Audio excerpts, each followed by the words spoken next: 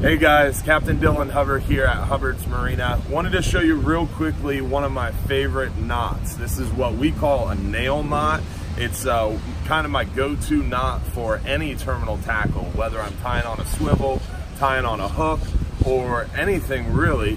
Uh, it's not a line-to-line -line knot.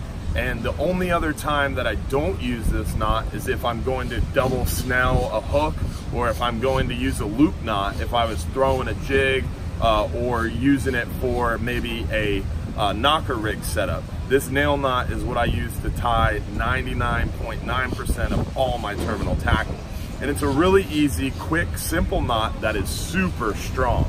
So I'll show you how to tie it real quick. All you do is put the line through the eyelet of the hook or the swivel or whatever you're tying, and you pull out about six to eight inches of tag line. The reason why you want a lot of tag line is because you're gonna need a lot of tag line to wrap around your thumb and the main line. So your main line's coming out straight out of your thumb and your tag line's coming out at a 90 degree angle. And what you do is you reach underneath your main line, grab your tag line, and you wrap around your thumb. You'll notice here I have my thumb protruding in front of my forefinger. That makes this knot a little easier.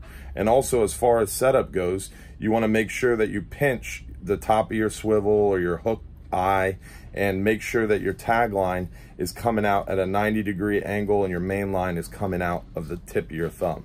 So you reach underneath your main line, grab that tag line, wrap it around your thumb once, and then you just hold it in place and since you're already pitching the eyelet of the hook, you just pinch that tag line to hold it. You wrap it around twice, pinch it again, wrap it around a third time. Sometimes you gotta push back the line a little bit. Now you've wrapped it around three times. You've wrapped it around the main line and your thumb. Once you do this, you're ready to finish the knot. I always, a quick tip, I always wrap it around my thumbnail. Uh, that way it's easy to pull these three loops off your finger. Once you've got those three loops pulled off, your main your tagline is in the front of those three loops. So all you do to finish the knot is put the tagline through the back of those three loops. Now you can see here, I'll let go of the knot so you can see clearly.